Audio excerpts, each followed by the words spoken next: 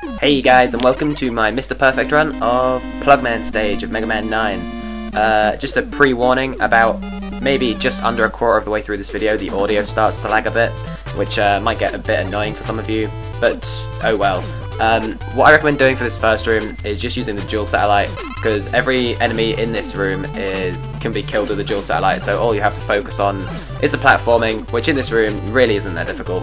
Um, with this room, really easy, just patience. Uh, a lot of this um, this uh, level is about being patient and just waiting for certain things to happen. Um, with this area, what I recommend doing is running up and shooting those two guys individually, and then running up, jumping, shooting. And if you get, if you place yourself perfectly on that platform, then you'll shoot the bullet that that uh, gun shoots, and you won't risk getting hit by it. Um, use the B bomb to shoot that guy.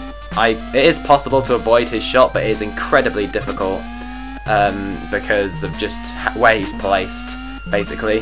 Um, here, just be patient and wait for that guy. Um, you have to know the pattern to be able to do that, obviously, but uh, obviously if you're going for a Mr. Perfect run, then you know the pattern of those already, so it shouldn't be difficult for you at all. I grabbed the extra life, I won't need it because I'm playing the game without getting hit, so why would I need an extra life? Uh, again here, you're going to need to know the pattern to do this. It's pretty obvious though. If you've played, if you're going for Mr. Perfect Run, you will have had to have done it before. Uh, I recommend using the B-Bomb to kill these guys that are on these platforms because they can get incredibly irritating when they're moving and you're trying to wait for the green platforms to appear. Um, so just kill them and they won't get in your way. Uh, again with that guy, just kill him with the B-Bomb. Uh, you could kill him with the Jewel Satellite if you wanted to, I suppose that would be another option to do it. But I wouldn't really recommend using the Jewel Satellite too much in this level, because um, it is actually what is super effective against the uh, Robot Master of this level, which is Plugman, of course. Um, for these guys, which are like Mega Mega Mans, if you want to call them that, um, you, I, what I do is, I, as I am just about to run past it, I use a B-bomb, and then it just kills them as they appear, and um, that way you're not going to risk getting hit by them, because they're just going to pretty much die as soon as they are alive.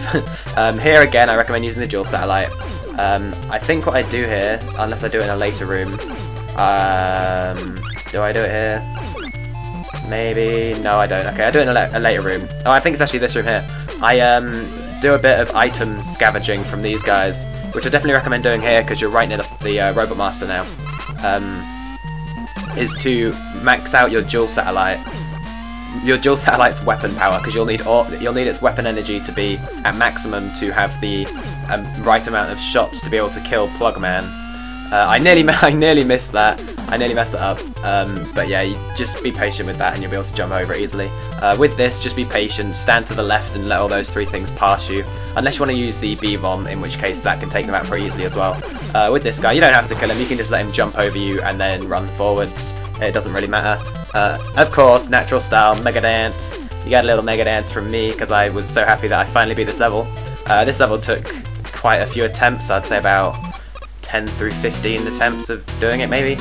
Um, Plugman himself, he is quite difficult to do without getting hit, but as, as long as you have a full weapon energy on your Jewel Satellite, all it is really is um, avoiding him himself because the Jewel Satellite will um, deflect all of the plug balls that he's shooting at you, so you don't have to worry about them as long as you have a, a satellite guard up, or whatever it's called, then you won't get hit by those.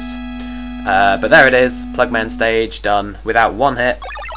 Very happy I've done that. So next time, we will be going over to Tornado Man stage, and I'll be beating that level.